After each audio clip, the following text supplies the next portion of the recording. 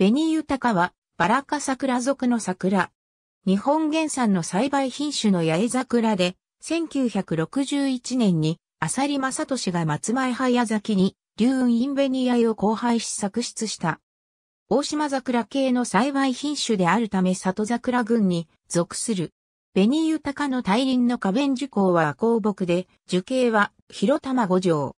八重咲きで大輪の花を咲かせ、花弁の色は濃厚色。東京の夏季は4月中旬。両親が松前早咲きと流雲ベニアへのため、遺伝的には野生種の長寿桜、山桜、大島桜、大山桜の雑誌とも言える。松前早咲きと浅利正俊が作出した暁な伝と紅豊。日本下の海有機農場にて、紅豊は浅利正俊が作出した幸い品種の桜のうちの代表的な品種である。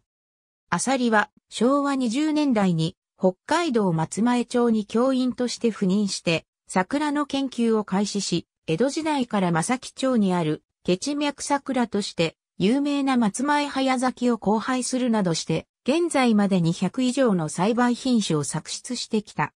正木公園は日本桜名所100選の一つであり、250種1万本の桜が植栽されているが、このうち半分近くの品種をアサリが作出してきたことになる。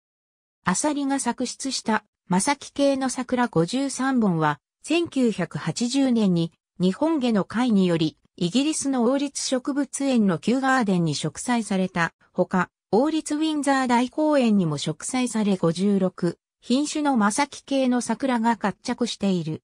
このうち、ベニユタカと雲流インベニアエなど19品種がガーデンメリット賞に選出されている。ありがとうございます。